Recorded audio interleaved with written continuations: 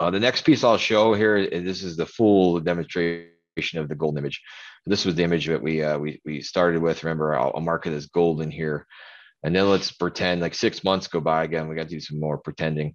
Uh, six months have gone by, and somebody, you know, accidentally on third shift. Poor third shift guys. I blame them for everything. You know, if someone's on third shift, I apologize. I have nothing against it. Just it's very, very convenient. Um, I'll go ahead and, and just change some of these settings here. I'll go ahead and go live and you'll see that it's, it's wow, that looks horrible. And you know, my tools might pass still, but um, oh, there it is. All right, so it's still there. I'm like, man, this is just a horrible image. This, this can't be right. Right. So we have something called golden image compare. So if I come over here to uh, my three little dot icon over here, you'll see we have this little icon that's actually golden, right? We we uh, we took feedback and we made it golden based off of feedback, so people knows it stands out.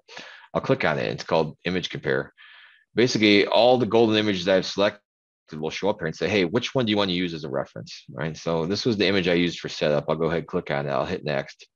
It's gonna give me a side-by-side comparison. All right, it's gonna say, hey, this is what it looked like when you set it up six months ago. Here's what it looks like today. Now, just visually looking at it, right out of the gates, I could say, wow, that looks awful, tremendously different, right? It's much brighter. It's totally out of focus. So now I have a clue where to go in and start making adjustments, right? So a quick visual inspection, I could say, wow, that that's crazy. If someone bumped the camera, you know, I'll have a different orientation of what the part looked like. Uh, this is this is cool. Also could use as an optical comparator, right? So let's say that uh, my system has failed. And I want the operator to say, hey, is this really a failed part? I could use as a, this is what the, the current image is. Here's what this one is. And you can see they're linked together. So I, I can move this, drag it around. The, the images will move side by side and say, say hey, is this really a, a defect over here? Right? I could, I could play around and do those sorts of things. So there's a lot of cool features and functionalities and, and, things you can glean out of out of out of using this particular golden image compare. This is the first iteration of it. Okay, so uh, eventually you'll be able to go into live view here, and this panel panel here will turn live so I can move the camera and try to make it look and adjust to what's over here on the left-hand side. We're also going to have some things where we try to guess and figure out what happened, right? So we might say, hey, you know, this is way brighter over here. You know, you want to make sure you you might want to check and turn down your exposure.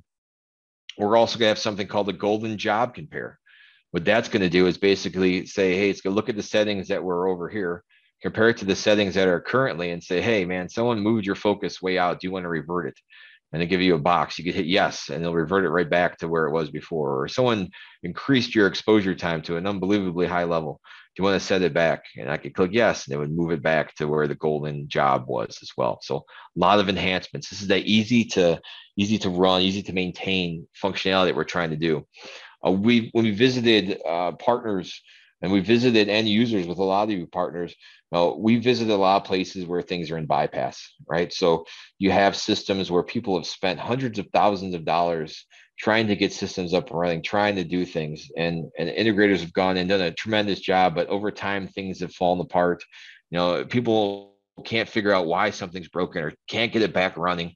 And this is where tools like this golden image, right? It's simple. I click a button, I can visually see that my image is, is really bad now. And now I could go start making adjustments. I know where to begin to troubleshoot, right? I could get the system back up and running as fast as possible by using uh, a tool like this. And we're trying to bring out all sorts of tools that, that do this, right?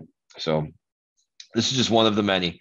and kind of wanted to show that we, we like this. If you, if you are with customers or your, your end users, demonstrate this. This is a, a very very good demo. You'll probably do a better job than I did on it, but you'll you'll you'll still have uh, some great power. People will leave that meeting and be like, "Man, that's that's pretty different. That's pretty cool." You know, I, I think the zebra stuff's really neat.